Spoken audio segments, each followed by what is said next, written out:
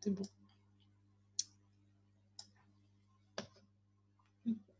J'attends que tout le monde soit rentré.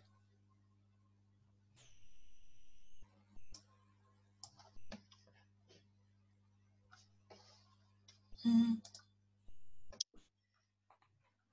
Bonsoir, bonsoir à tous. Je me présente, je suis Andrea et je serai votre médiatrice pour cette conférence intitulée Écrire pour gouverner euh, l'exemple du comté d'Artois au XIIIe et XIVe siècle. Merci de vous être rendu disponible pour cette première conférence de l'automne de l'histoire-géographie. Pour le bien de la conférence, je vous demanderai d'éteindre vos caméras pour qu'on garde un, fluide assez, un fluide assez satisfaisant. Pour présenter rapidement l'association, euh, Histoire de parler a été créée en 2017 par trois étudiants en histoire. Son but est de vulgariser l'histoire-géographie et de la rendre accessible au plus grand nombre.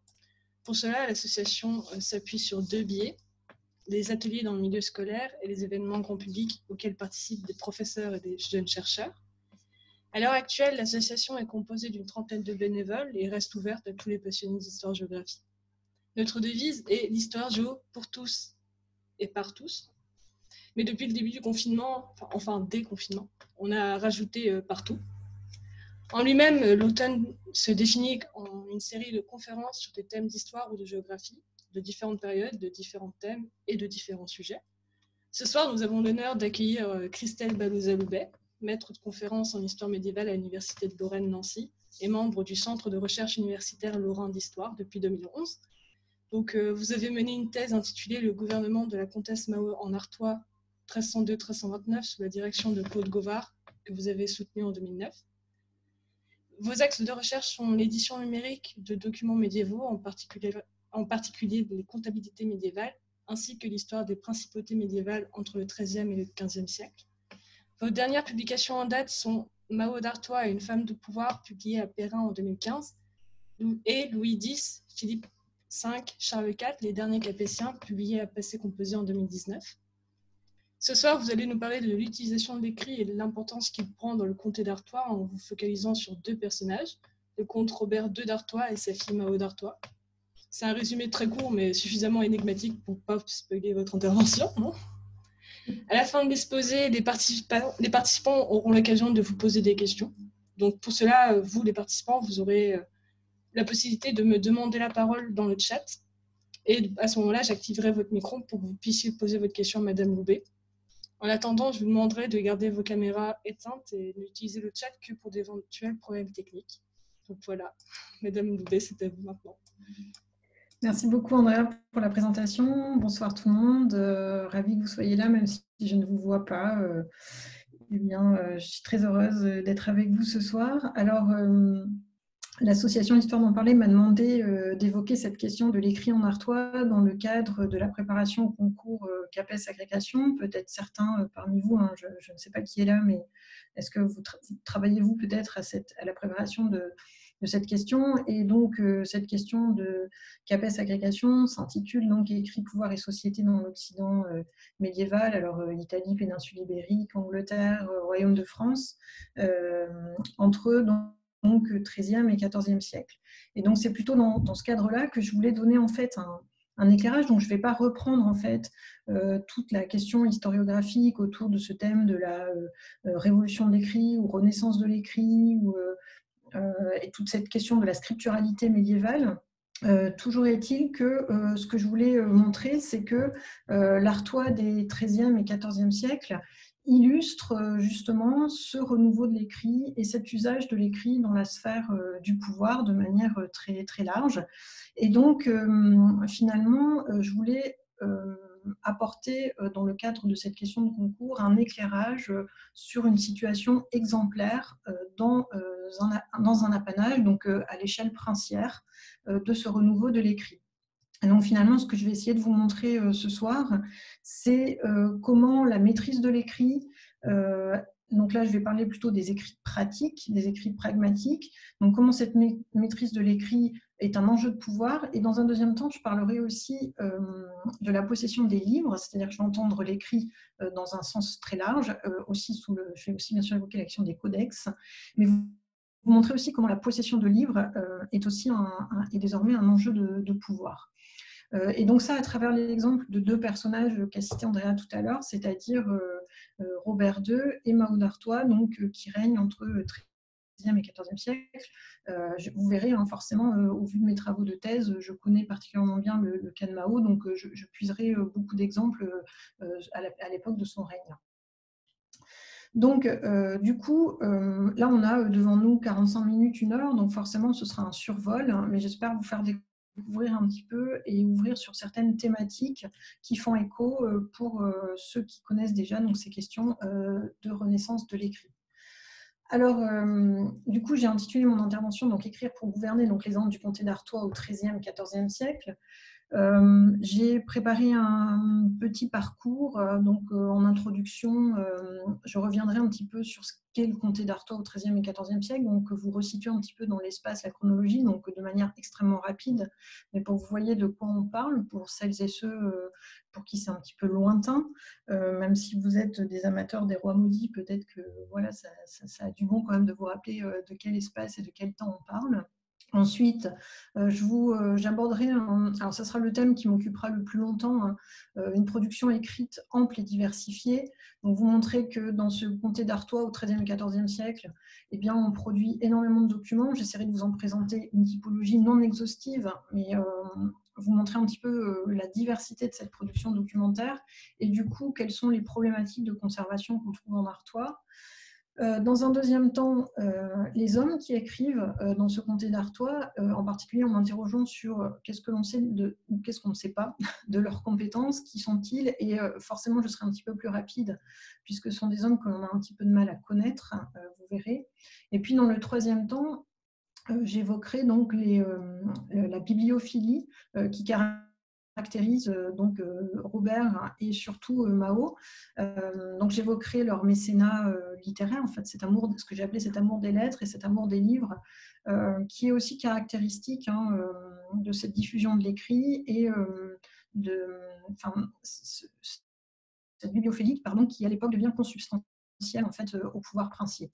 Donc je conclurai rapidement et je reprendrai en bibliographie quelques ouvrages que je vous aurai de toute façon euh, pour la plupart déjà cités euh, au fil, au fil du propos. Donc voilà un petit peu pour, pour ce parcours. Donc je commence tout de suite en, introduction à vous, par vous présenter donc, le comté d'Artois, donc quel espace, quelle chronologie. donc simplement, je vous rappelle en, quelques dates hein, que ce comté d'Artois a une existence autonome finalement assez brève, euh, puisqu'il a été constitué en apanage. Donc, je ne vais pas vous faire l'affront de vous rappeler ce que c'est qu'un apanage, mais euh, qui a donc été concédé euh, donc en apanage au deuxième fils de Louis VIII, hein, qui était Robert et qui deviendra donc, j'essaie de vous montrer avec la souris, j'espère que vous voyez, hein, qui donc deviendra Robert Ier comte d'Artois et qui donc va régner sur ce comté d'Artois entre 1237 et 1250. À la mort de Robert Ier, ce sera le règne de Robert II, donc celui dont dont je vais un petit peu parler euh, aujourd'hui. Hein, euh, donc Robert II, qui lui va être à la tête du comté d'Artois entre 1250 et 1302 et qui perd la vie donc, euh, à la bataille de Courtrai en 1302. Et je vous ai marqué une date importante, hein, mais c'est plus anecdotique, mais pour que vous mesuriez un petit peu l'importance de ce comté dans le royaume, c'est pendant le règne de Robert II qu'en 1297, ce comté sera érigé rang de Péry. Donc les titulaires du comté d'Artois sont pairs de France, donc ce qui leur donne quand même une situation euh, assez euh, importante et prestigieuse au sein du royaume. Autre personnage dont il sera beaucoup question ce soir, c'est Mao, comtesse d'Artois, donc euh, la fille de Robert II. Et je terminerai en vous disant, donc je vous passe hein, les, les, péripéties et l'histoire du comté d'Artois à la mort de Mao, mais c'est un comté donc, qui sera finalement intégré au duché de Bourgogne en 1384 et donc qui, à partir de là, n'aura plus de véritable existence euh, autonome. Donc vous voyez que finalement, euh, c'est un comté euh, qui a une existence assez brève. Donc ça, c'était pour vous resituer un petit peu les dates et vous dire de, qui et de quoi on allait parler. Pour ce qui est maintenant de la famille des comtes d'Artois, je vous rappelle aussi très rapidement, je viens de vous l'évoquer puisque je vous ai dit que le, le comté d'Artois était un apanage, mais je vous rappelle qu'il y a des liens étroits euh, entre euh, cette dynastie artésienne et euh, la dynastie capétienne, puisque Robert Ier est donc le frère de Louis IX, hein, vous pouvez voir ici, et que donc on a des rapports familiaux entre les deux familles. donc il sera question ici de Robert II, le fils de Robert Ier, de Mao, sa fille, son fils n'ayant pas régné puisqu'il est mort avant son père. Hein. donc là encore une fois, je ne rentre pas dans le détail euh, de, ces événements qui amènent Mao au pouvoir. Mais donc, rappelez-vous que Mao est cousine euh, de Philippe IV. Et pourquoi je vous précise ça? Parce que aussi sur les formes de l'écrit et sur l'histoire de l'écrit en artois, ça a une conséquence, puisque bien sûr, le modèle capétien est très important. Euh, et donc, ces, ces, liens expliquent que l'on se partage les serviteurs, que l'on on fréquente euh, les mêmes cercles de pouvoir et donc que l'écrit euh, qui est produit en artois euh, revêt beaucoup, reprend pardon, beaucoup des modèles qui sont ceux de la monarchie capétienne. Et enfin, dernier élément qui vous permet de vous situer un petit peu avant qu'on entre dans le vif du sujet. Je me permets de vous resituer le comté d'Artois dans le royaume de France. Donc là, c'est une carte de 1328, hein, mais ça n'a pas bougé entre 1322 et entre, 13, entre 1250 pardon, et 1328. Donc on est au nord du Royaume de France et vous voyez, c'est un, comté, je vous ai mis ici un agrandissement, donc qui est en fait une constitution de terres euh, qui ne sont pas forcément limitrophes les unes des autres. Hein. Vous voyez qu'il y a le comté de Saint-Paul qui coupe un peu ce comté entre deux. Et surtout, c'est un comté euh, donc, qui est euh, dans une position de carrefour entre le domaine royal, le comté de Flandre et puis l'Angleterre ici. Voilà un petit peu pour vous resituer. Donc maintenant, vous avez tous les éléments pour euh, voir euh, de quelle région il est question euh, ici et dans quel espace se place mon propos. Alors pour commencer, donc, je voulais vous présenter une production écrite ample et diversifiée en revenant un petit peu sur la typologie documentaire et les questions de conservation de cet écrit. Et donc, pour commencer, je vais revenir sur le fait qu'il existe en Artois, comme dans le royaume à l'époque, ce que l'on appelle donc un trésor des chartes, alors, euh, donc ce, trésor des chartes euh, euh, peut désigner aujourd'hui un petit peu deux éléments, c'est-à-dire que déjà en Artois, dès l'époque médiévale, on avait un chartrier comtal qui s'est constitué, qui a été géré, organisé. je, vais, y revenir dans un instant. Et puis aujourd'hui, je précise que ce qu'on appelle ce trésor des chartes, ça inclut quelque chose d'un petit peu plus vaste. Quand vous allez consulter le trésor des chartes euh, aux archives départementales du Pas-de-Calais euh, à Arras, en fait, ça recouvre toute la série A euh, des archives du Pas-de-Calais aujourd'hui, donc c'est quelque chose d'un petit peu plus vaste. Donc on peut entendre ce terme dans une, acception restreinte qui serait en fait le trésor des chartes médiévales, c'est-à-dire ce chartrier comtal. Et puis aujourd'hui, on a aussi, au-delà, dans la série A, on, a aussi des comptabilités qui ont été associées plus tard à ce, chartrier. Alors, ce, ce, chartrier, il est présenté. Alors, du coup, l'avantage d'être à l'écran et chez moi, c'est que je peux vous présenter euh, les livres en même temps. Euh, donc, je vous renvoie en fait euh, à un ouvrage que j'ai mis dans la bibliographie, mais si jamais ça vous intéresse et où j'ai puisé aussi des données, hein, c'est un ouvrage qui a été dirigé par Alain Provost, qui s'intitule Les contes d'Artois et leurs archives. Et donc là, vous aurez, hein, si jamais vous voulez aller un petit peu plus loin après l'intervention, de quoi euh, approfondir euh, votre propos et le, trésor des chartes est très bien, est très bien présenté dans, cet ouvrage. Et donc, euh, ce qui est intéressant, en tout cas en particulier lorsqu'on pense à la question qui est au concours cette année, ce qu'il faut bien comprendre, c'est que cette constitution du chartrier comtal, c'est une façon pour les comptes d'affirmer, d'asseoir la construction politique qui est cet apanage. C'est-à-dire que cette constitution d'un chartrier euh, va se faire parallèlement à la construction euh, politique du comté. Et donc, euh, ce chartrier, ce trésor des chartes, va commencer à se constituer à partir de 1237. Alors, je reviendrai, parce que c'est un chartrier qui va être réparti entre plusieurs pôles, entre plusieurs dépôts, j'y reviendrai tout à l'heure. Et ce qui est intéressant, c'est que vraiment ce chartrier va avoir une vie qui est celle, enfin, qui va vraiment être conjointe la vie du comté, puisque lorsque le comté va rejoindre en 1384 euh, le duché de Bourgogne, eh bien, ce chartrier euh, va cesser de croître et va euh, cesser d'être enrichi. Donc, c'est vraiment une constitution documentaire qui est liée donc à l'émergence de cet ensemble politique qui est le, qui est le comté d'Artois. Alors, du coup, ce qui est intéressant, c'est que vous voyez qu'on a un lien qui est très étroit entre construction politique et scripturalité. donc, à travers l'écrit, on a les fonctions politiques qui s'affirment, les fonctions administratives. Et l'idée aussi, donc, c'est que lorsqu'on constitue un chartrier, c'est que l'on cherche à conserver ses actes, bien sûr pour espérer faire valoir ses droits dans l'avenir, puisque l'écrit euh, a désormais valeur de preuve, hein, euh, en tout cas euh, davantage qu'auparavant cette valeur testimoniale, cette valeur de preuve. Et puis, on a aussi, donc, bien sûr, à travers la transmission et la conservation des archives, tout un discours politique sur le pouvoir, c'est-à-dire que l'on affirme l'existence de ce pouvoir comptable. Alors, ce chartrier conservé à Arras, alors là, je l'entends du coup donc, en tant que le, trésor des chartes actuel, on a, pour vous dire un petit peu l'ampleur euh, de la documentation qui a été produite, on a encore aujourd'hui 26 euh, 000 pièces euh, qui sont datées de 1102 à 1385.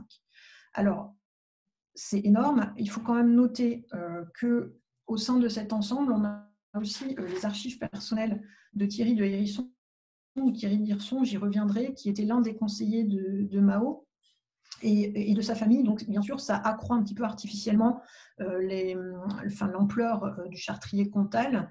Mais euh, malgré tout, hein, même si on enlève ces archives, on voyait que ça reste quelque chose de, très important. Et puis, on a surtout, donc, au sein de ces 26 000 documents, plus de 26 000 documents, on a une typologie documentaire qui est très diverse. Va trouver des contrats de mariage, des testaments, donc tout ce qui relève un petit peu donc, du droit civil. On va retrouver des enquêtes administratives, des enquêtes judiciaires, Bien entendu, on a des chartes, tout type de chartes, des mandements, des actes d'achat, des actes de vente, des actes de fondation, euh, des actes de donation. On a des comptabilités, des comptes de bailliage, des comptes d'hôtel en particulier. Et une spécificité aussi en Artois, on a énormément de pièces justificatives à l'appui de ces comptabilités, euh, en particulier des quittances, des mandements de paiement, c'est assez énorme, euh, ne serait-ce que uniquement pour le règne de Mao, c'est-à-dire entre 1302 et 1329, on a 9000 pièces justificatives euh, euh, qui sont conservées. Et puis dans ce trésor des chartes, on a aussi des cartulaires, des registres de chancellerie, des rentiers. Alors, vous voyez que je, là, je vous fais une énumération, bien entendu, je n'aurai pas le temps d'entrer dans le détail de tous ces documents, donc j'ai fait des choix, des sélections, mais c'était euh, pour vous montrer un petit peu l'ampleur de cette production. Et normalement, si vous avez, pour ceux et celles qui connaissent la question, qui ont déjà travaillé justement sur cet écrit euh, médiéval, donc vous, euh, vous êtes tout à fait conscient hein, que ça représente finalement donc la diversité documentaire que l'on peut connaître pour, pour l'époque médiévale. Et donc ce rapide panorama que je viens de faire euh, montre que l'écrit euh, désormais est incontournable pour gouverner et gérer la principauté.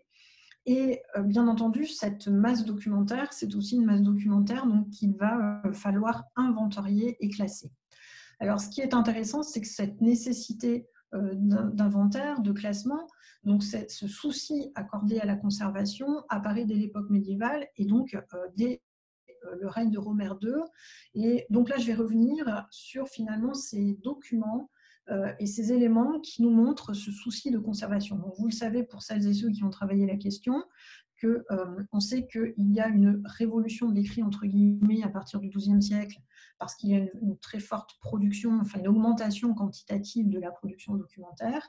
Mais vous le savez aussi, hein, cette révolution de l'écrit est marquée aussi par une révolution de la conservation, c'est-à-dire aussi un intérêt nouveau apporté à cette conservation de l'écrit. Alors les documents qui nous montrent, euh, pour dès l'époque euh, de Robert II, euh, ce souci de conservation, ce sont les cartulaires et registres de, chancellerie. Alors, du coup, ces cartulaires et registres de chancellerie, je, vous les présente rapidement.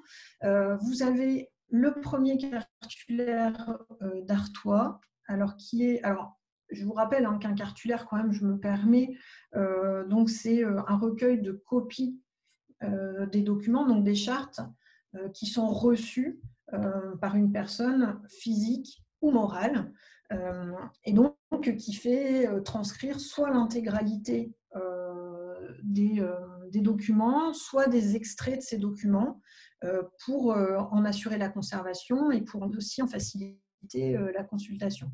alors je, vous renvoie hein, pour ces définitions et puis si vous voulez avoir un aperçu des cartulaires qui existent, il y a une, une base de données en ligne sur, sur Telma que vous connaissez peut-être qui s'appelle Cartulaire et qui vous permet d'avoir un aperçu donc, cartulaire écrit C-A-R-T-U-L-R. Je n'ai pas, noté, effectivement, c'est une erreur de ma part. Mais sur cette base, vous pourrez euh, éventuellement naviguer parmi tous les cartulaires euh, recensés. Donc, ça vous donnera un petit aperçu de, ce qu'est un, cartulaire. Et vous avez donc les définitions de ce que sont ces cartulaires. Alors, donc ce premier cartulaire d'Artois, euh, dont je vous ai noté fait, ses caractéristiques, c'est un, registre sur parchemin qui compte 110 folios et qui rassemble en fait 287 actes au total, euh, datés de 1092 à 1293. Euh, Alors, c'est un cartulaire qui est euh, conservé aux archives départementales du Nord aujourd'hui dans la série B, sous la cote B 1593. Je me permets juste une petite précision. On a bien sûr des documents qui concernent l'Artois aux archives départementales euh, du Pas-de-Calais pour l'essentiel. Mais euh, ensuite, euh, certains ont été, lorsque ça a été intégré au fichier de Bourgogne, certains de ces documents ont été ramenés aux archives départementales du Nord. Donc c'est pour ça qu'on a aussi, vous le verrez, beaucoup de documents qui sont conservés dans ces dépôts, outre ceux bien sûr aussi qui sont conservés aux archives nationales ou à la Bibliothèque nationale de France. Donc fin de la parenthèse, mais c'est pour ça qu'ici vous avez ce cartulaire qui est conservé aux archives départementales du Nord.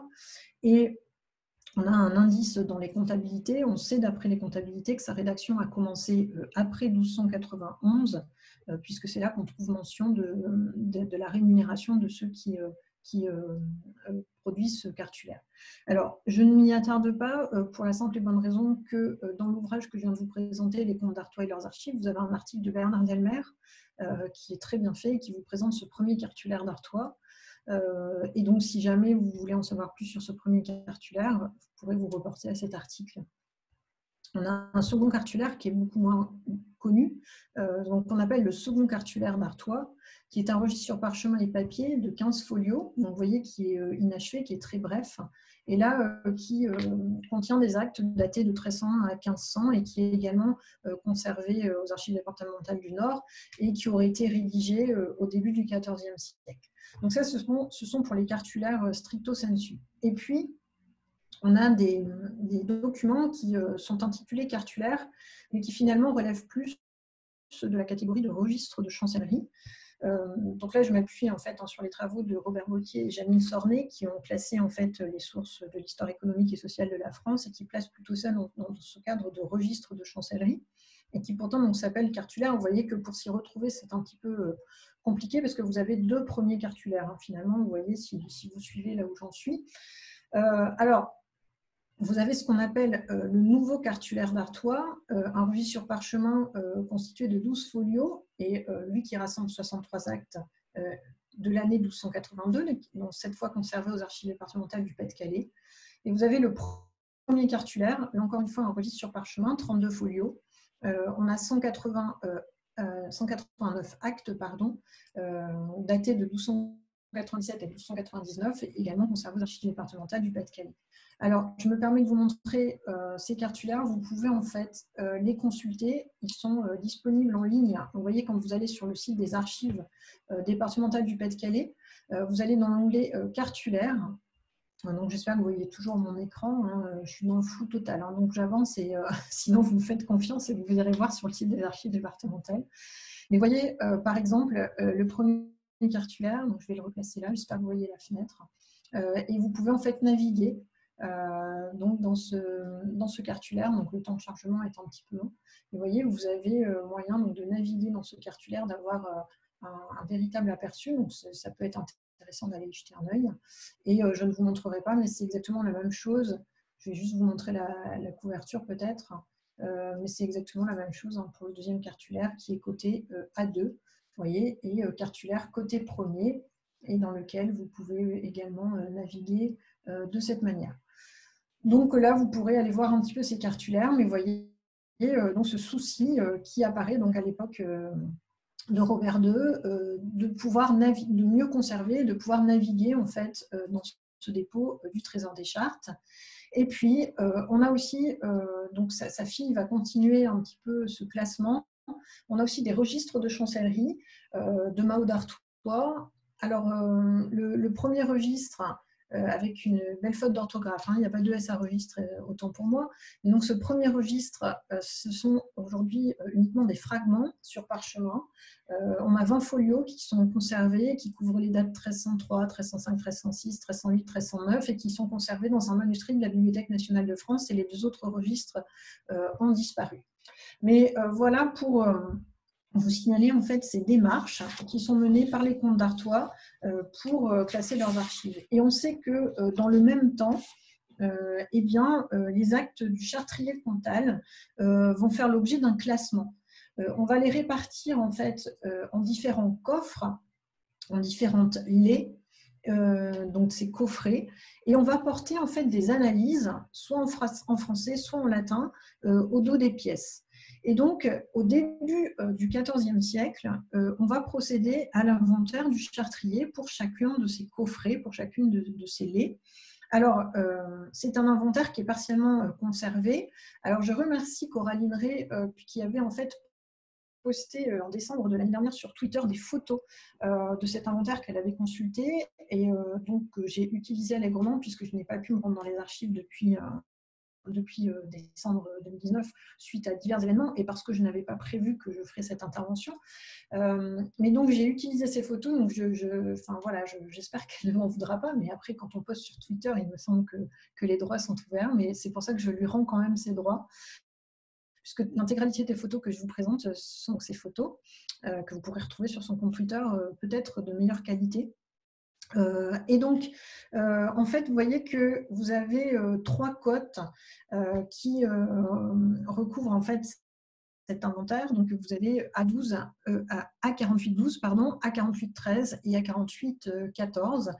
vous voyez que le premier, c'est le, plus long conservé, donc c'est un long rouleau de parchemin. Vous avez ici aussi, on voit très bien l'aspect liste ici sur ce deuxième inventaire.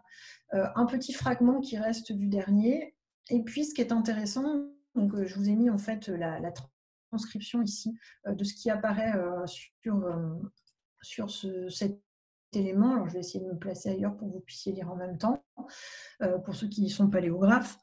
Donc, ce sont les titres des lettres de la d'air et les saints par nombre de quoi elles sont saignées et sur ces mêmes saints les trouvera-t-on en ce coffin Alors ça, c'est quelque chose qui est extrêmement intéressant puisque c'est ici où l'on dit clairement l'on a classé les lettres qui concernent le bailliage d'air, donc on est à R sur la liste. On vous dit que sur ces documents, on a apposé des marques, des signes, le sein, et euh, qu'on vous dit qu'en fonction de ces mêmes seins, on pourra les trouver dans ce coffin, c'est-à-dire dans ce coffret. Et donc là, vous avez vraiment la démonstration du processus euh, de classement des actes que l'on a numéroté et que l'on a classé en fonction des numéros dans chaque coffret. Donc là, on a vraiment ce travail de classement euh, qui apparaît euh, sur, euh, sur ce document. Donc, on a donc cet inventaire qui est conservé. Et puis, donc, je terminerai par évoquer donc les trois dépôts dans lesquels sont conservés ce trésor des chartes d'Artois. la comtesse Mao est une comtesse qui se partage entre trois lieux, enfin trois lieux de résidence, en tout cas le L'administration du comté se fait en trois lieux différents. Euh, c'est Arras, dans le comté d'Artois, et Édan, qui est le lieu de résidence privilégié par la comtesse lorsqu'elle est euh, dans son comté. Et elle réside aussi très souvent à Paris. Hein. Elle a un hôtel, elle a même deux hôtels hein, à Paris euh, à l'époque. Et donc, du coup, elle, enfin, un à Paris, pardon, et puis un à Conflans, donc plutôt à proximité de Paris. Euh, mais vous avez aussi une partie du dépôt euh, à Paris. Et on a en fait euh, dans les comptabilités de l'époque des indices qui nous renseignent en fait sur ces dépôts parisiens. donc par exemple, vous voyez que dans les comptes de 1320, on verse de l'argent à Pierre Coyard, charpentier, pour une armoire de fût mise dans la conciergerie à Paris pour mettre les écrits des comptes Madame. Donc on a cet indice de, rouleaux de comptes qui sont conservés euh, à la conciergerie euh, à Paris. Euh, il est aussi question, vous voyez, en 1314, dans un de ces comptes, des clés des armoires de Hédin qui sont données à Monseigneur Denis de Hérisson ou qui est donc le frère de Thierry d'Irson.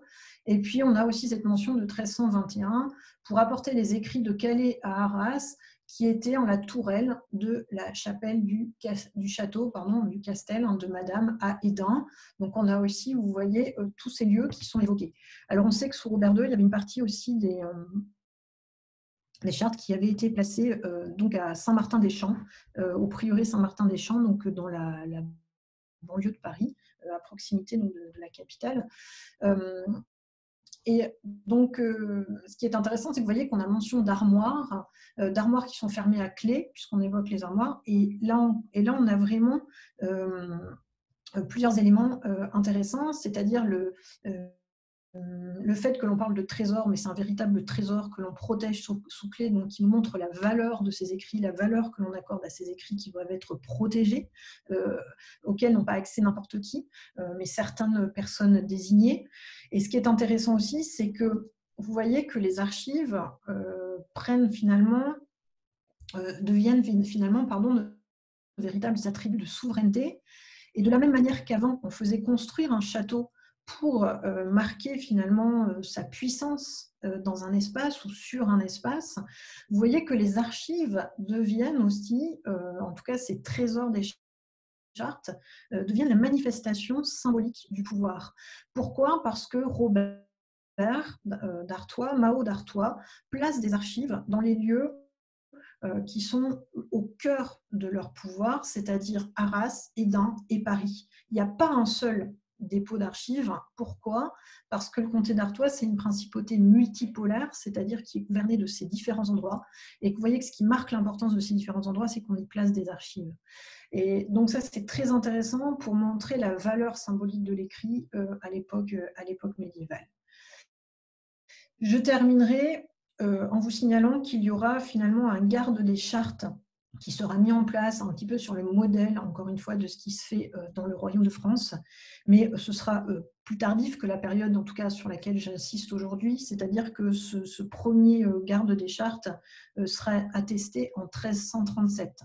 donc, vous voyez qu'on est bien après l'époque de Mao, mais vous voyez qu'en tout cas, je, je, vous le signale quand même pour vous montrer qu'on a ce souci de conservation qui va se prolonger, bien entendu, euh, dans les années euh, suivantes.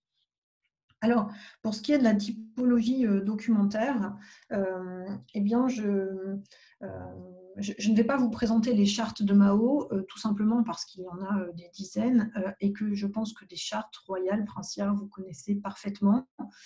donc, j'ai essayé de mettre l'accent sur des, des documents qui sont peut-être un petit peu plus spécifiques et vous le verrez, hein, je m'en excuse par avance, mais c'est un petit peu mon dada, donc il y a aussi beaucoup de documents comptables qui se promènent euh, dans ma présentation.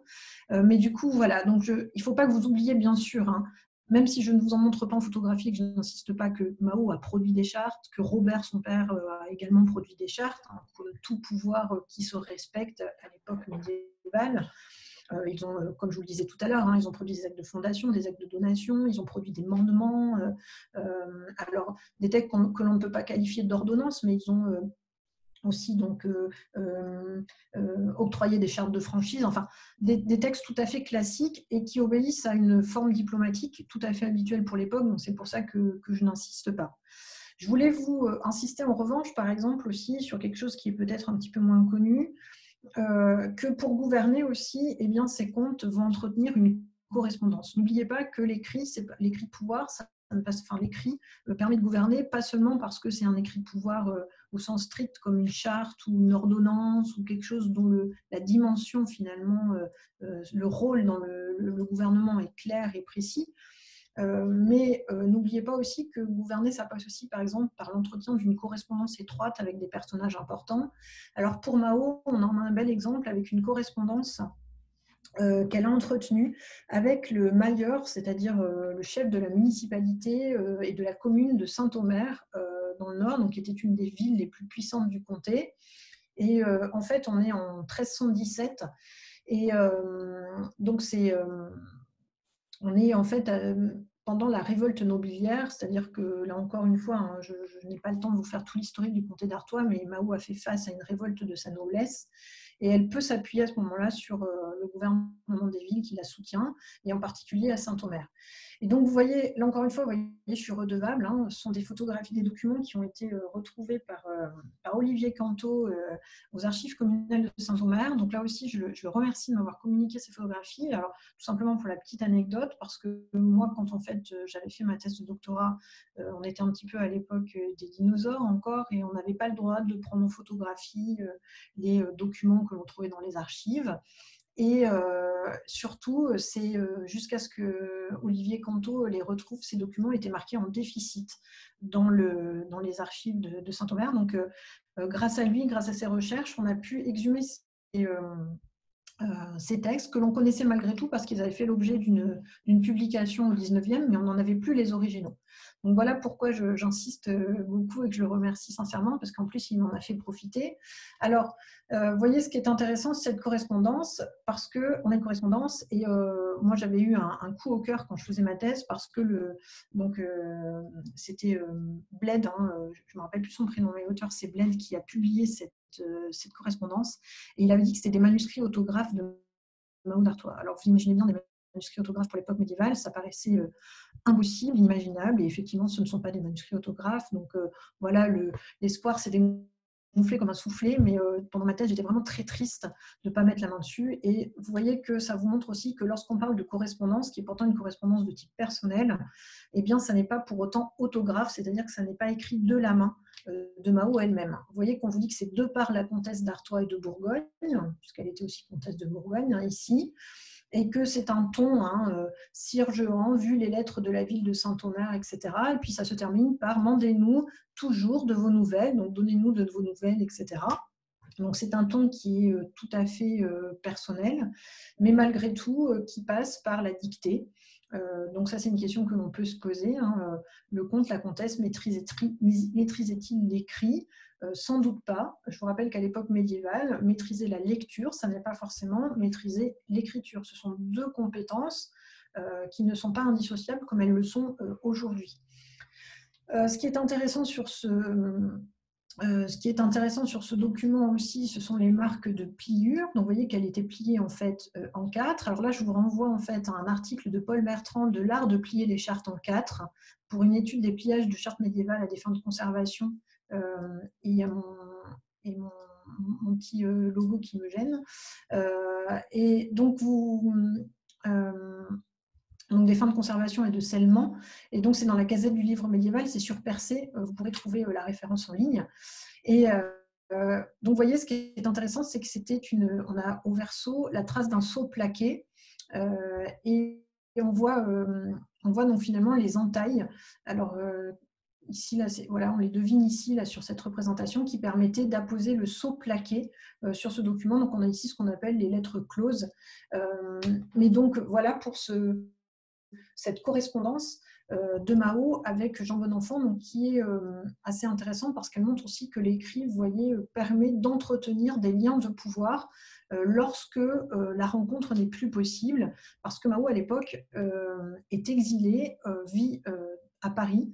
Et donc, c'est grâce à cette correspondance et grâce à cet écrit qu'elle va réussir à maintenir un lien avec son comté, avec ses soutiens dans le comté. Donc, c'est aussi un rôle euh, intéressant de l'écrit qui est peut-être un petit peu moins connu. Autre document, je reviens à l'époque de Robert II, hein, je fais des allers-retours euh, chronologiques, hein, vous me pardonnerez, mais euh, autre document intéressant qui montre cette fois le rôle de l'écrit, non plus vraiment dans l'exercice du pouvoir finalement, mais plutôt dans la gestion euh, du, euh, dans la gestion du territoire et du domaine, c'est Robert II, par exemple, qui a fait euh, réaliser deux rentiers. L'un qui concernait uniquement le bailliage d'air, donc c'est celui que je vous ai mis à droite, hein, le rentier d'air qui date de 1292, et celui que vous avez ici à gauche, c'est un rentier qui cette fois concerne, concerne l'ensemble de l'Artois, du domaine comtal, et donc qui détaille, qui présente, décrit en détail euh, toutes les possessions des comtes.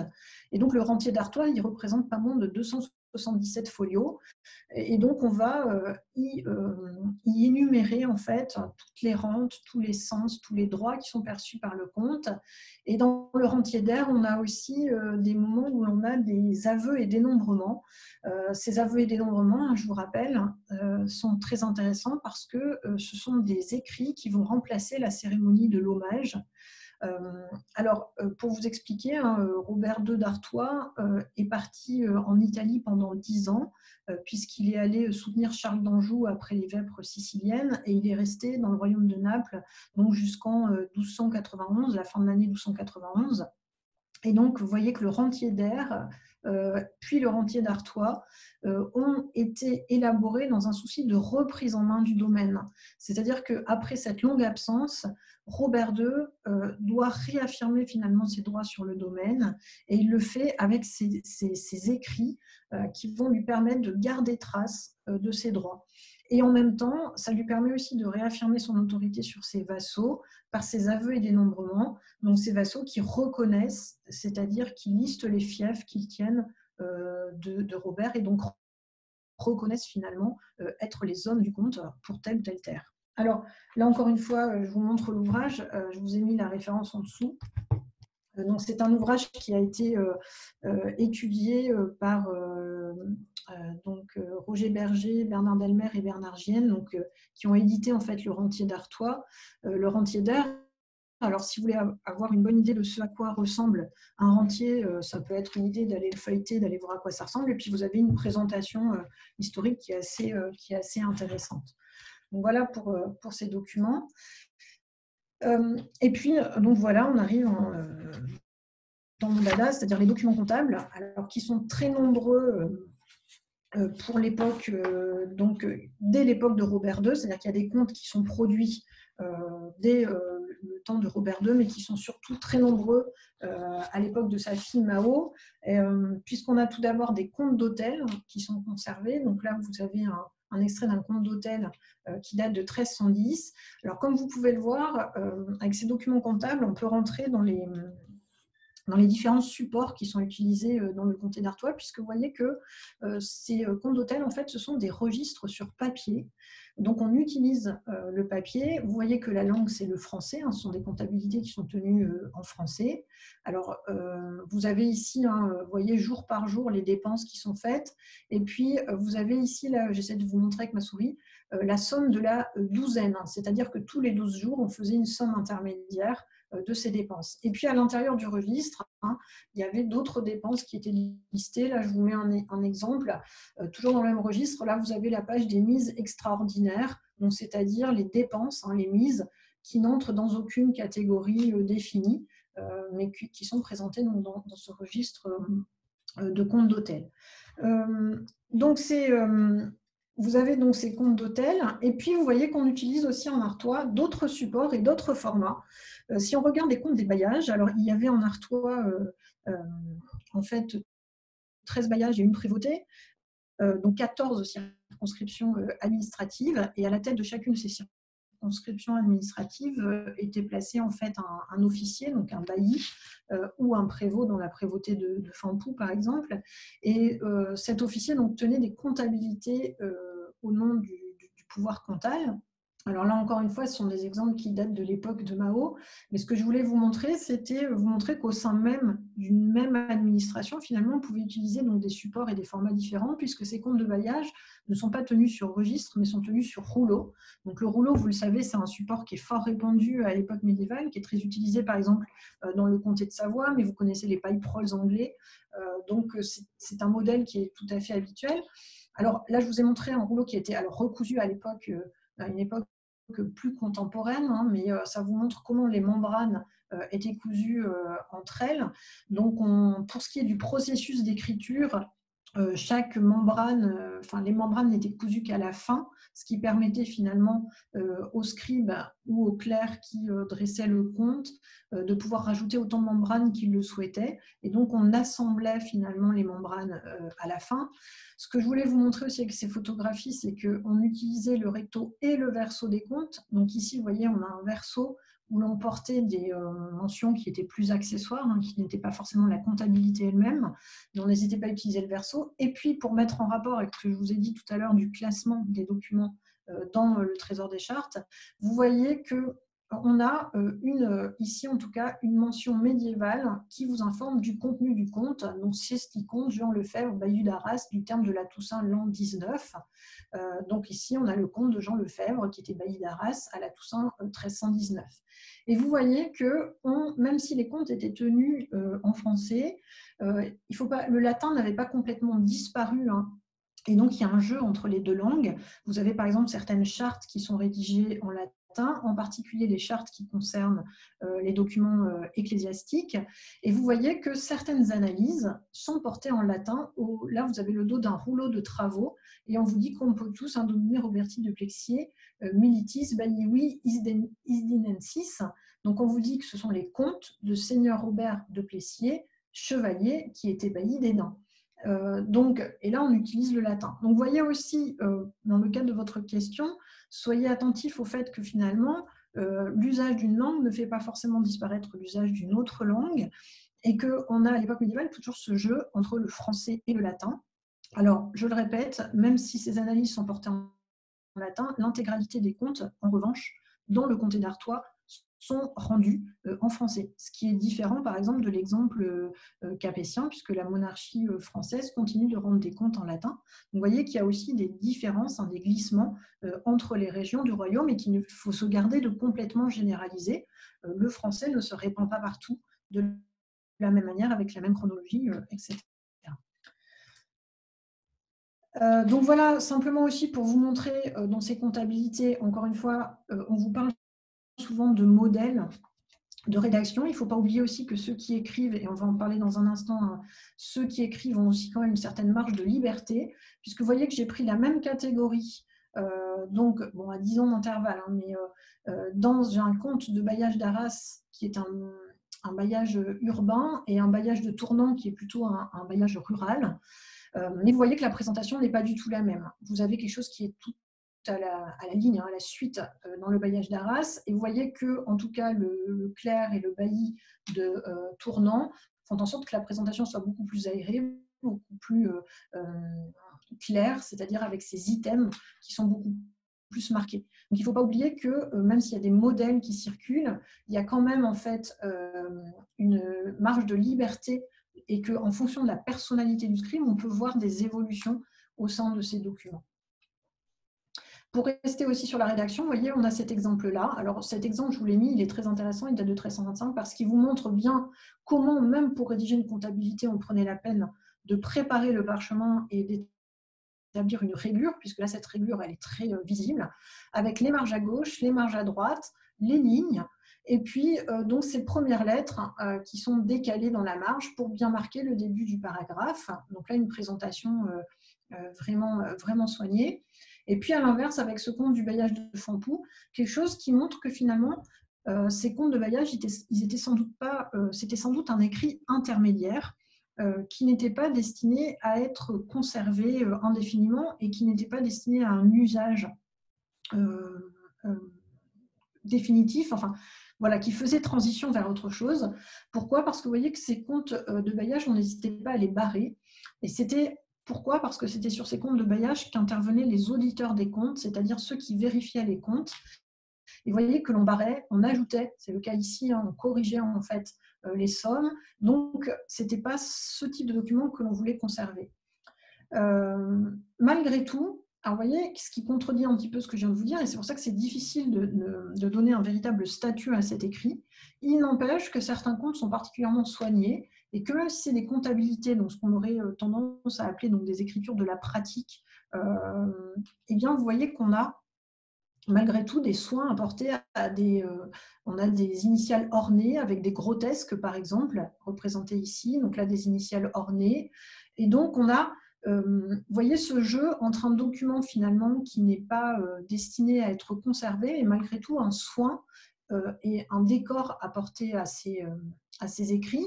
Et ça, c'est intéressant aussi parce que ça, suggère que finalement, ces hommes qui maîtrisent l'écrit, finalement, euh, qu'ils interviennent dans une chancellerie, dans un bailliage, ou euh, finalement, euh, dans un atelier de scribe, ils ont eu la même formation.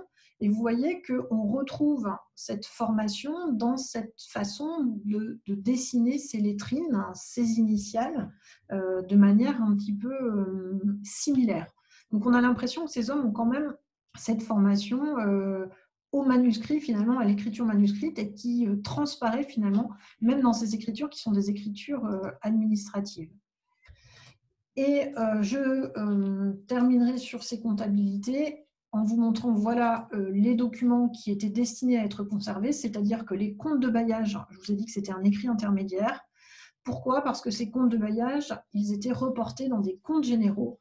Et ces comptes généraux, à la différence des rouleaux de parchemin que je viens de vous montrer, c'était des registres, mais cette fois des registres de parchemin.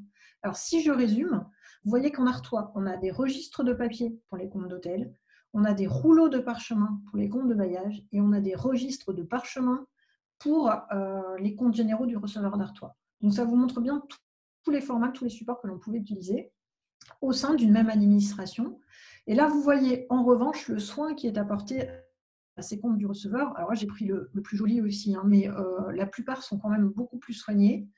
Euh, avec donc ces décors, c'est grotesque. La manicule ici, qui est donc vraiment quelque chose inspiré hein, finalement de, l'écrit manuscrit qui vous, qui vous montre la somme totale et donc qui attire votre attention sur ce qui est important dans ce document.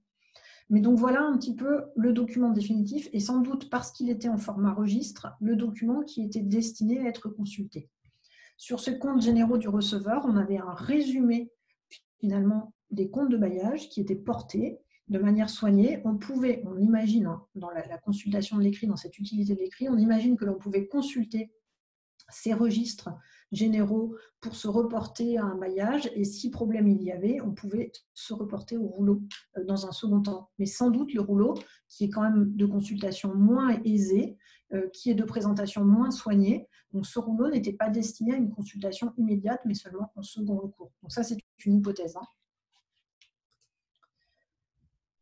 Et enfin, avec ces comptes de travaux, là encore une fois, hein, pour terminer, euh, vous voyez ce souci qui est apporté donc à la réglure et puis euh, à la clarté avec les paragraphes qui sont marqués prima, segunda, etc. Vous voyez ce souci euh, de classification.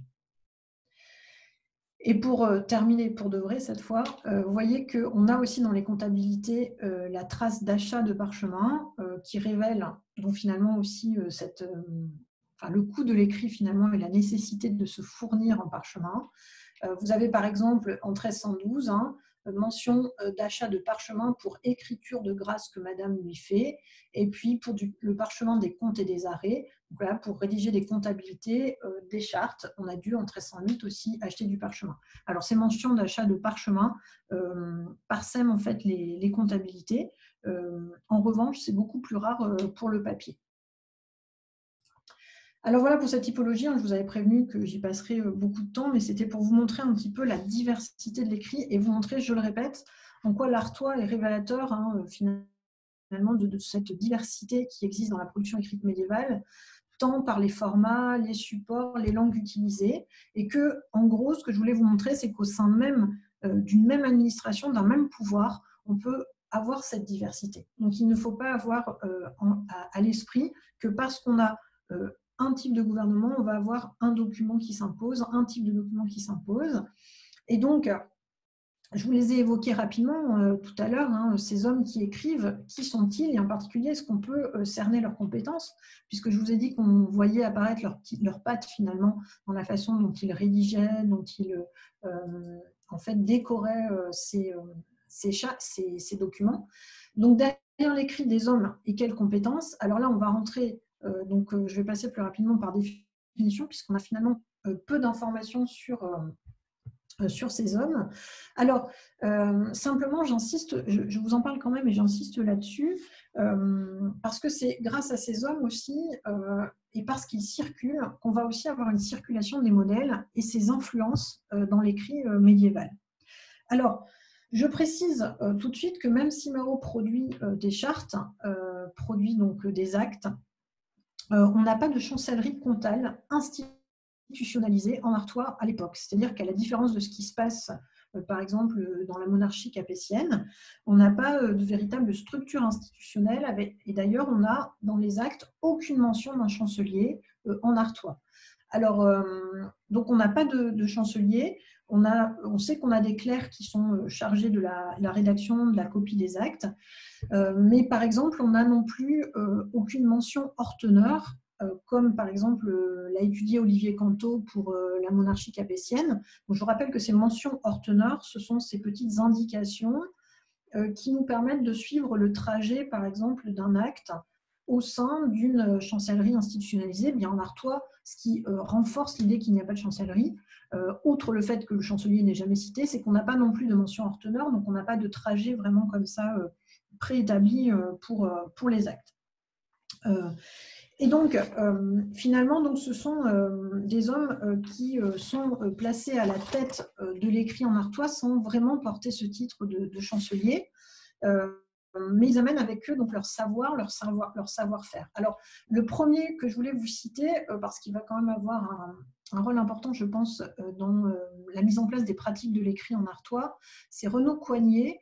Alors, ce Renaud Coignet, il est maître d'artois jusqu'en 1299. Alors, c'est maître d'artois, c'est euh, un office qui va disparaître avec Robert II. C'était tout simplement, je vous l'ai dit, il a été absent pendant très longtemps de son comté, une dizaine d'années. Donc, pour gérer en, son absence, il avait en fait nommé deux maîtres d'artois, c'est-à-dire deux hommes qui géraient le comté en son absence. Et euh, en particulier, jusqu'en 1299, il va, même, après son retour dans le comté, il va maintenir cette fonction pour l'aider à gérer le comté. Et quand il va rentrer de Naples, il va ramener avec lui un, napolitain euh, qui est Renaud Coignet et qui va être euh, donc maître d'Artois jusqu'en 1299. Alors, euh, pourquoi je, vous mentionne? Parce qu'avec Renaud Coignet, euh, c'est sans doute euh, l'influence italienne et napolitaine, de la chancellerie napolitaine, qui va arriver en Artois.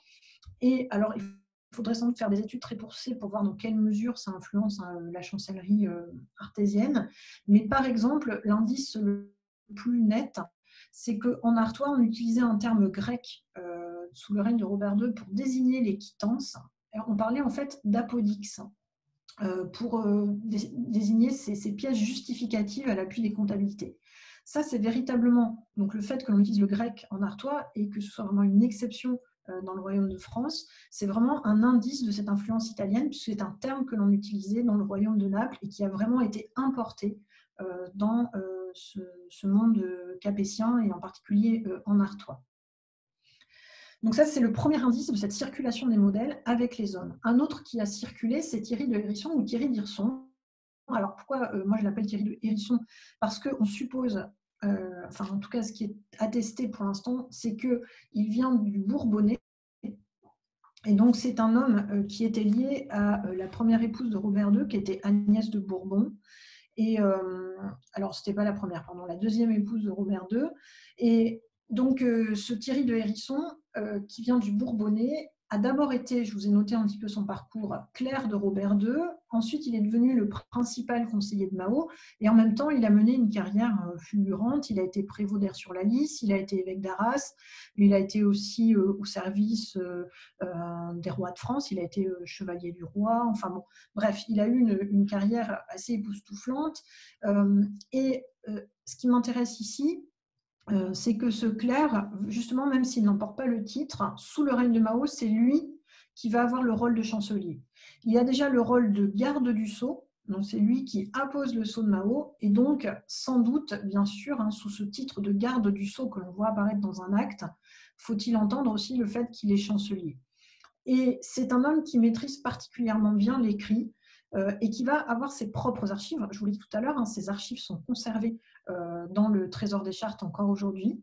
Euh, et donc, c'est un homme qui non seulement va être au service des, comptes d'Artois, au service des rois, mais qui va aussi donc être un, auteur lui-même. Et pour le coup, on a des, traces autographes hein, de son intervention, de documents qui ont été produits par lui par lui-même. Donc là, on sait que c'est lui qui écrit, qui est capable d'écrire.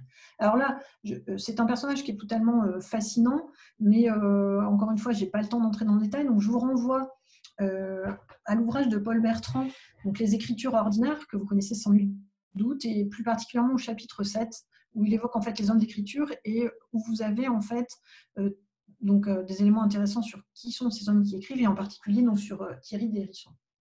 Et puis, donc ce personnage qui, par sa maîtrise de l'écrit, est sans doute, enfin c'est ce qui explique sans doute euh, le fait qu'il puisse exercer cette fonction de chancelier ou d'équivalent de chancelier pour Mao.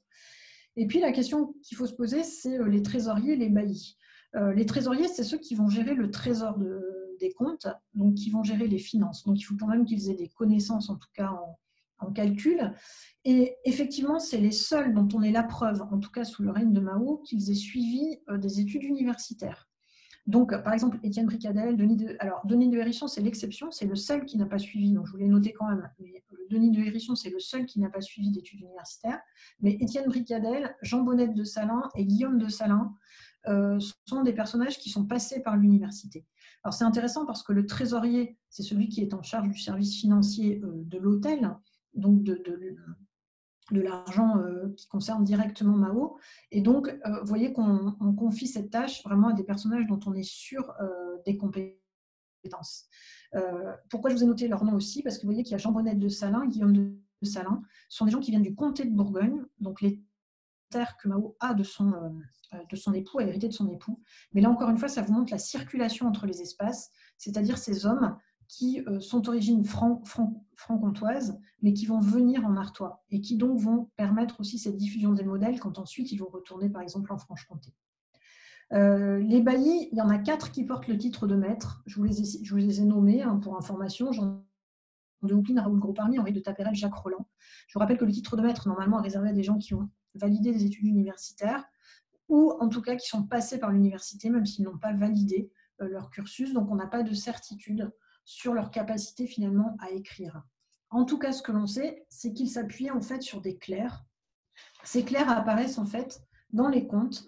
Par exemple, euh, en 1310, on évoque euh, une somme qui est versée, donc 60 sous, hein, pour grâce faite au clerc le bailli, pour plusieurs écrits faire par tout l'an passé. Donc on sait que ces baillis, finalement, ce n'est pas eux qui écrivaient, ils contrôlaient sans doute, mais c'était des clercs qui, eux, pour le coup, euh, restent dans l'ombre et qu'on ne peut que très difficilement connaître, qui, euh, au jour le jour, hein, euh, produisait ces écrits. Et les deux autres citations que je vous, montre, c'est aussi intéressant parce que ça, vous montre que dans ces euh, principautés, on n'hésitait pas. Comme je vous disais, il n'y a pas une chancellerie établie, mais on n'hésite pas aussi à recourir à des clercs qui ne sont pas forcément des clercs rattachés à la principauté. Par exemple, le clerc du bailli d'Amiens, qui a écrit plusieurs lettres en l'an 1312. Et puis, on fait appel aussi à un clerc de Thérouanne, pour s'occuper des textes qui sont produits à Saint-Omer. Donc, vous voyez qu'on a aussi recours à un personnel qui n'est pas forcément le personnel attaché euh, directement euh, à, la principauté. Donc, pour conclure là-dessus, euh, vous voyez que ces hommes de l'écrit, finalement, à part les plus importants comme Thierry de Hérisson, sont des hommes que l'on connaît que très peu. alors, je suis désolée, Andrea, il me reste encore un point. Ça va, j'ai un petit peu de temps, je suis un petit peu longue, je me rends compte que j'ai beaucoup de choses à dire, mais est-ce que vous m'autorisez quand même à continuer euh, pour les dix dernières minutes? Oui, oui, pas de souci, hein, prenez votre temps. ok, merci. C'est bientôt fini, hein, c'est plus bref. Alors du coup, euh, pour terminer, euh, on a aussi le dernier point à aborder, c'est cette question donc, de la bibliophilie des princes. Alors là, on change un petit peu de domaine, on, sort de l'écrit pratique, mais pour vous montrer aussi que cette place de l'écrit, elle passe aussi par l'amour des lettres, l'amour des livres, par tout le mécénat princier euh, euh, qui montre un petit peu cet intérêt que l'on accorde au livre. Alors j'ai repris une citation de Patrick Boucheron hein, dans Jacques Dallarin, Le Moyen Âge en lumière. donc la possession de livres est en elle-même l'un des signes les plus éclatants du pouvoir médiéval. Et effectivement, en même temps que l'écrit se diffuse dans la société médiévale, il devient, cette possession d'écrit devient aussi un signe ostentatoire euh, un signe de prestige et, un petit peu incontournable pour marquer son pouvoir. Alors, euh, Robert II lui-même euh, était un prince amateur d'art et de lettres. donc, je vais aller assez vite, mais sachez que Robert II a pensionné à sa cour un auteur que vous connaissez sans doute, ou dont vous avez déjà entendu parler, qui est Adam de la Halle, et qui est l'auteur du jeu de Robin et Marion. Euh, qui euh, a aussi beaucoup écrit pour Marie de Brabant, qui était la femme de Philippe III. et ce Adam de la Halle était rattaché à la cour de Robert et il est d'ailleurs allé jusqu'à Naples avec Robert d'Artois. Et en mémoire de ce lien très fort qui unissait son père à, Adam de la Halle, Mao d'Artois va même faire décorer une des salles de son château d'Édin avec des scènes euh, de euh, ce jeu de Robin et Marion. C'est ce qu'on appellera la salle Alcançon, c'est-à-dire la salle aux chansons. Mais euh, pour montrer que déjà, on est dans un esprit finalement de cours brillante dans laquelle on pensionne, on accueille des artistes.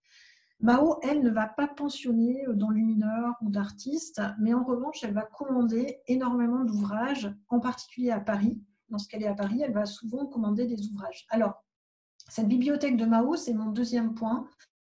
On la connaît parce qu'en 1317, elle a été pillée euh, dans le cadre de la révolte nobiliaire dont je vous ai déjà parlé.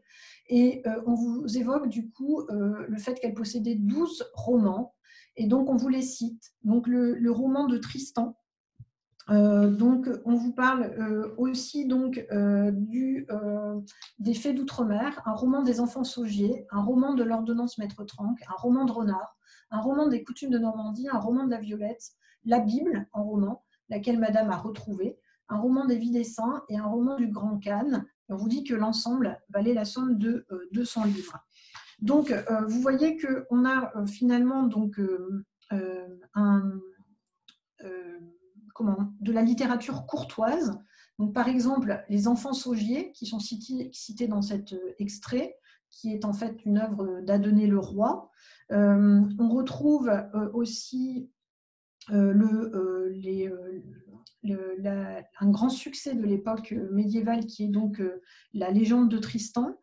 Et puis, le, dans les ouvrages divertissants, on a aussi le roman de la Violette et puis le roman de Renard, que vous connaissez euh, sans nul doute. Euh, et puis, voyez que ce qui est à la mode aussi, euh, ce sont donc les, la littérature orientale. Vous voyez qu'on a le roman du Grand Khan, qui est en fait, ce sont les écrits de Marco Polo. Et puis, les faits d'outre-mer. Alors, les faits d'outre-mer, on ne sait pas trop ce, à, quoi ça renvoie, ce roman des faits d'outre-mer, mais c'est sans doute un, ouvrage qui parle de la croisade. Donc, des choses qui sont tout à fait habituelles à l'époque. On sait aussi, regardez, je vous ai mis l'extrait 1305, qu'elle euh, s'est, elle s'est fait, euh, elle a commandé en fait hein, pour écrire du commandement Madame les chroniques des rois de France. Donc, euh, elle était aussi une des rares à posséder dès le début du XIVe siècle, vous voyez, dès 1305, un exemplaire de la chronique des rois de France et qu'elle va faire donc enluminer à, la même, à la même époque. ça montre les liens étroits ici, là, entretenus entre la famille et la dynastie capétienne.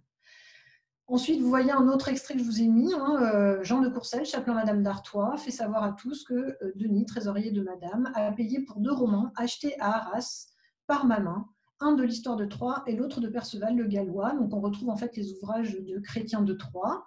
Euh, et donc là, ça se situe en 1308. Et ce qui vous incite, vous voyez que donc ces ateliers d'écriture hein, existent quand on parle de la professionnalisation de l'écrit, vous voyez qu'on a des libraires, hein, des ateliers d'écriture dans les grandes villes comme Arras, euh, par exemple. Et puis, vous avez aussi Je Thomas de Maubeuge, libraire. Donc là, il donne son titre. Hein, fait savoir à tous que j'ai eu et reçu de Maître Étienne, trésorier Madame d'Artois et de Bourgogne, pour deux romans. L'un de la vie des saints, donc une géographie, et l'autre des vœux du pan, vendus et délivrés à Madame d'Artois. Vous voyez que là, c'est intéressant parce que ça, témoigne à l'existence de ces euh, hommes qui vivent de l'écrit, hein, de cette copie de manuscrits, de cette production et de cette vente de manuscrits. En même temps, ça vous montre que euh, la constitution d'une bibliothèque, ça passe par les héritages, mais aussi par les achats, les commandes euh, d'ouvrages. Et je terminerai en vous disant que cette bibliothèque de Mao d'Artois, elle comptait au final 40 ouvrages, ce qui est tout à fait honorable. Euh, puisque enfin, c'était comparable à d'autres bibliothèques féminines de l'époque, euh, par exemple celle de euh, Clémence de Hongrie ou de euh, Valentine Visconti, un petit peu plus tardivement au milieu du XIVe siècle, comptait à peu près une quarantaine d'ouvrages. Donc c'est déjà une belle librairie, une belle bibliothèque médiévale que possédait Mao. Alors malheureusement, on n'a pas de on n'a pas d'indices, on, on ne connaît pas des manuscrits qui auraient été possédés par Mao. il y en a un qui lui était attribué donc à, la bibliothèque de Cambrai. Donc vous pourrez aller voir, hein, vous voyez sur ce site sur le site initial de l'IRHT, vous avez ces heures livres de prière de Mao d'Artois, de Mao de Brabant. y a un doute sur sa possession. On ne sait pas si c'est plutôt Mao d'Artois ou Mao de Brabant qui a, possédé cet ouvrage. Donc malheureusement, je ne vous le présente pas davantage parce qu'on n'est pas certain qu'il ait appartenu à Mao d'Artois. Donc on est obligé de se fier finalement à ces quelques indices pour euh, reconstituer sa bibliothèque. Vous voyez que je suis passée un petit peu plus vite sur ces euh, derniers éléments, euh, mais en conclusion, ce, sur quoi je voulais insister, hein, c'est en quoi cette principauté d'Artois témoigne de la scripturalisation à l'œuvre dans la société médiévale au XIIIe et XIVe siècle. Vous voyez que l'écrit se diffuse dans tous les rouages euh, de euh, la principauté, que ce soit pour l'administration et que ce soit aussi donc, euh, au niveau de l'affirmation symbolique du pouvoir par la bibliophilie, la possession de livres, le mécénat vis-à-vis des, hommes de lettres. et finalement, ça se traduit aussi par une importance quantitative et une grande diversité des, des documents produits. Donc voilà, c'est forcément superficiel, mais j'espère que ça vous a donné une petite idée. Et donc, comme promis, euh, je vous remets cette bibliographie indicative euh, qui reprend les principaux ouvrages que j'ai cités euh, au cours de mon propos. Merci beaucoup pour, pour votre attention. Merci à vous. C'est une conférence très intéressante et très riche. Du coup, avant de commencer les questions, je vous ai envoyé dans le chat un questionnaire à répondre pour nous aider à nous améliorer. Donc, si vous pouviez le faire, ce serait gentil. De plus, l'association tient à s'excuser de la gêne occasionnée dans le chat. C'est le problème des conférences en ligne et du sentiment d'invulnérabilité des gens sur Internet. Du coup, c'est le moment ou jamais de rappeler que le respect de nos intervenants et des autres participants est de mise pour assister à nos conférences, auquel cas vous serez bannis, tout simplement. Euh, sur cette note très négative, euh, place aux questions. Donc, comme je disais tout à l'heure, vous avez la possibilité de me demander la parole pour poser une question à Madame Aubert en indiquant dans le chat que vous souhaitez poser une question donnerai, enfin, j'activerai votre micro à ce moment-là. Sinon, euh, vous pouvez lever la main aussi, il me semble. Oui, donc euh, attendez, je cherche votre nom dans le. Normalement, je vous envoie une demande pour activer votre micro. Voilà, merci. C'est Paul Bertrand. Bonsoir, je suis flattée. Bonsoir. Ah non, non, non, pas du tout. Non, je suis content, Christelle. C'était vraiment chouette. Euh, ta, conférence C'était très, très bien. J'ai appris plein de choses. Euh, ça va, tu m'entends? Tout va bien? Parfaitement, parfaitement. Bon, ça va, c'est tant mieux. Non, c'était très très intéressant. Il y avait plein de choses que, que j'ai apprises et qui étaient, qui étaient fascinantes. Si, si, euh, autour euh, de, euh, de, de, de, de l'entourage, notamment de tout le, parcours culturel de, de Mao et, puis au-delà même des, des contes de bailliage et le personnel, il y avait des choses que, qui, sont maintenant nous sommes beaucoup plus claires. Donc ça, c'est c'est tout à fait bien. J'aurais voulu te demander, d'abord, une petite remarque de fait, tu as tout à fait raison d'insister sur le le, fait que ce, manuscrit de Cambrai euh, n'est pas n'est probablement à coup sûr pas attribuable à, Mao et probablement même pas à, Mao de Brabant. Il est d'après ce que j'ai cru comprendre, c'est, ça n'aurait rien à voir avec euh, le, je veux dire, une quelconque Mao. C'est vraiment euh, une sorte de légende de légende artésienne hein, qui se balade autour de ou cambrésienne qui se balade autour de ce manuscrit-là. Mais, mais ça reste, ça reste quand même intéressant et ce serait peut-être un manuscrit à réétudier justement. Hein, peut-être hein, si un étudiant a envie de se mettre un peu sur ce manuscrit-là, je crois que ce serait pas mal. Euh, ça, c'est un, document euh, assez fascinant et justement, il y aurait un, mystère un peu à essayer d'éclaircir. Euh, j'avais une autre question, alors qui est deux questions en fait. La première, c'est à un moment, tu, montres les, comptes de bailliage bien mis en, page. Euh, et est-ce que comment tu les distingues ces comptes de bailliage des, on va dire des comptes préparatoires? Ce seraient des comptes qui seraient déjà présentés d'une certaine façon par rapport aux comptes généraux? Euh, c'est ce qui expliquerait leur mise en page un peu sophistiquée, ou bien alors euh, est-ce qu'ils auraient une autre fonction en, particulier? Comment comment tu verrais les choses? Ça, ce serait la première question. Et l'autre question, c'est que tu me dises pourquoi tu préfères parler de Thierry de Hérisson et pas de Hirson. Ah oui, ça c'est un grand débat. Ben, alors, euh, pour la première question, euh, euh, alors, ben Justement, je n'ai pas vraiment de réponse. Euh, moi, j'attribue peut-être ça plutôt à la personnalité euh, du clerc ou du scribe. Euh, je ne suis pas certaine que ça vienne du pouvoir, parce que quand j'avais fréquenté les, les, contes, mais il faudrait le faire de manière peut-être encore plus exhaustive, en fait, c'est vraiment, il y a des, des, scribes finalement qui rédigent bien tous leurs contes. J'ai envie de dire, aujourd'hui, il y a des gens qui écrivent bien, des gens qui écrivent mal. Euh, il y avait vraiment des, euh, des scribes qui, euh, qui, avaient une présentation très soignée.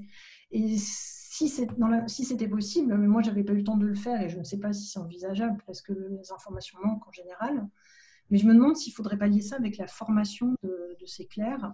Il y en a certains, j'avais même l'impression qu'ils avaient été formés plutôt dans des, des scriptorias qu'à l'université ou que dans des petites écoles ou au caisse, parce que c'était vraiment on avait l'impression qu'ils rédigeaient comme, comme ils auraient rédigé des manuscrits. Euh, donc voilà pour ma réponse. Je ne pense pas que ce soit lié à la nature du document, parce qu'en tout cas, euh, dans ce que j'ai perçu, c'était des comptes de bailliage comme les autres.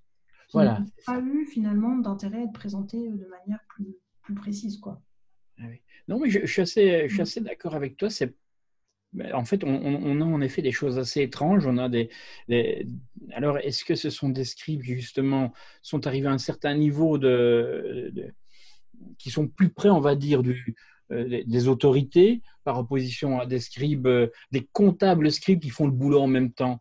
Euh, ce qu'on voit beaucoup, c'est dans les petits comptes, ça tu l'as certainement vu aussi, ce sont des comptables qui sont au travail au niveau vraiment plus local euh, et qui, eux, font à la fois la tâche de comptable, effectuent la tâche de comptable et la tâche de scribe en même temps. Et donc là, ils n'ont pas, euh, on va dire, ils n'ont pas peut-être les, euh, les qualités paléographiques ou qualités calligraphiques requises, tandis que du côté alors de, de certains euh, certains, certains, certains types de comptes, là, on aurait vraiment euh, une sorte de collaboration entre deux. Mais ce serait à, creuser, évidemment. Il faudrait voir si ces, ces, ces superscripts se retrouvent de bailliage en bailliage, ou ici ou là, si on se les échange. Ce serait, en fait, il y aurait toute une enquête à faire, justement, sur les écritures des, des, scripts de, de comptes. Et, et, notamment pour l'artois, on en a tellement, ce serait vraiment intéressant. Oui, mais c'est vraiment intéressant comme, euh, comme interprétation, parce qu'effectivement, oui, je n'avais pas pensé, mais oui, dans ce cas-là, ce serait peut-être non pas le petit clair qui rédige, mais euh,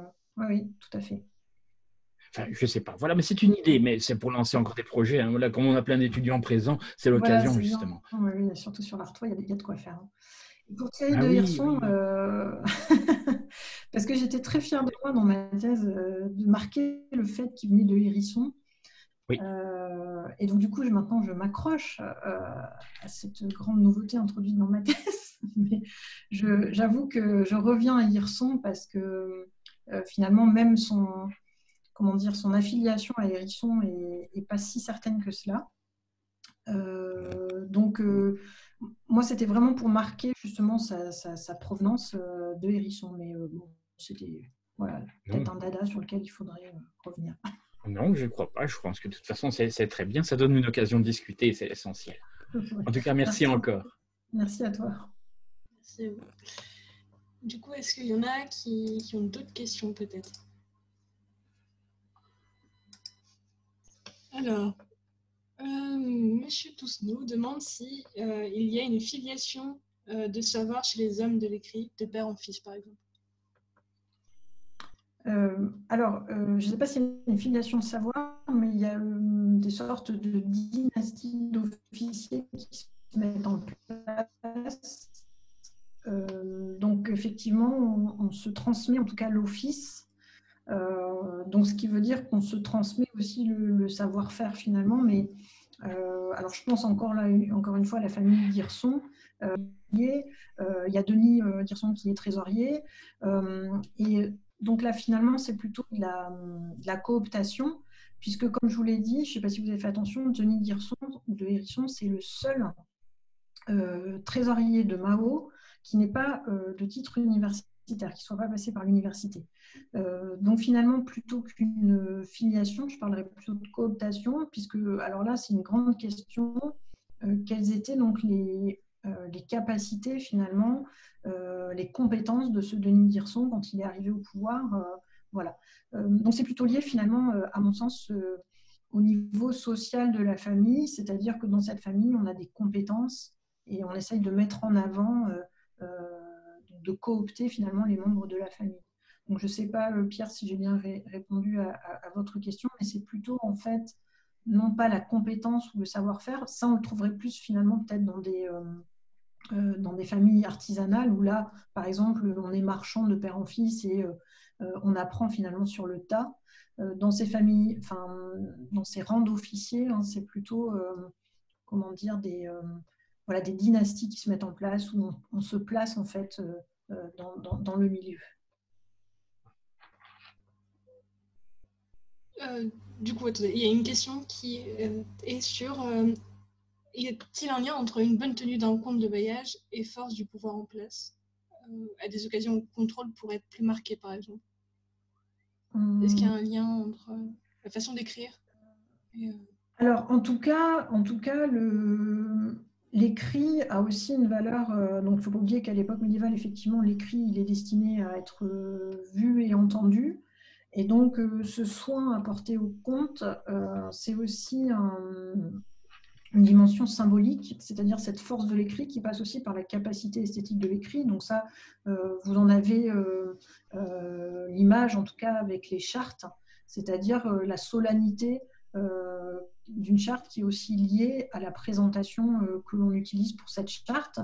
donc on peut retrouver le même phénomène aussi dans la tenue des, comptes de maillage. Donc effectivement, le, soin apporté euh, peut-être aussi symboliquement un témoignage du prestige et de l'importance de la dynastie. Euh, par exemple, si vous vous reportez au compte des ducs de Bourgogne, euh, les comptabilités des ducs de Bourgogne sont beaucoup plus travaillées, beaucoup plus présentées. Et effectivement, là, on peut faire un lien finalement entre, dans ce cas-là, ce que vous dites, hein, la force du pouvoir en, place et le prestige des écrits produits par ce pouvoir. voilà, j'espère que j'ai répondu à peu près à la question. J'espère que j'ai bien posé la question aussi, de toute façon. Oui, c'est bon. Apparemment, c'est bon. Euh, il y a également M. Bertrand qui tient à rajouter qu'il y a également Isabelle de Hirson, la sœur de Thierry, qui s'occupe de certains comptes. C'est donc une affaire de famille. Ah, mais ça, je ne savais pas. Je, savais qu'Isabelle de Hirson était mariée à un bailli, mais euh, je n'avais pas vu qu'elle s'occupait des comptes. Donc ça, euh, c'est une information très intéressante.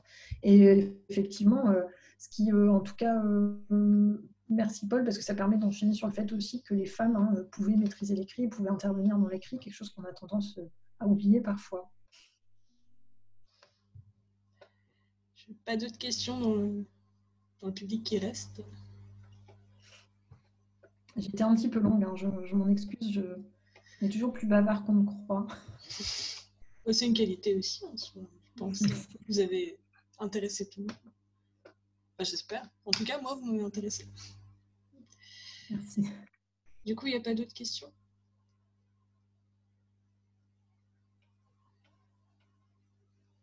Apparemment, je ne sais pas si vous avez accès au chat de l'autre côté. Oui, je ne vois rien. Ok. Donc, euh... et des remerciements. Merci beaucoup. Si c'est la fin des questions, je, tiens à vous remercier d'être venu déjà. Hein. Puis euh, merci à Madame Loubet d'avoir fait euh, cette conférence très intéressante.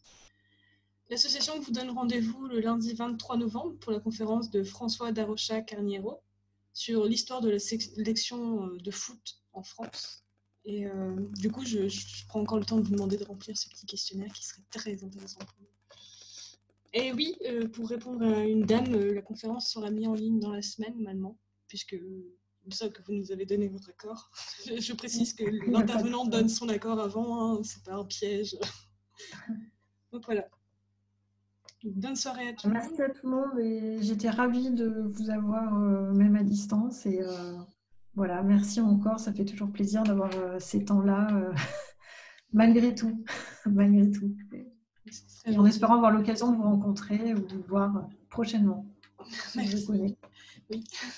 Ben, merci. Hein. Bonne soirée à vous tous. Merci à vous. Bonne soirée. Au revoir. Au revoir.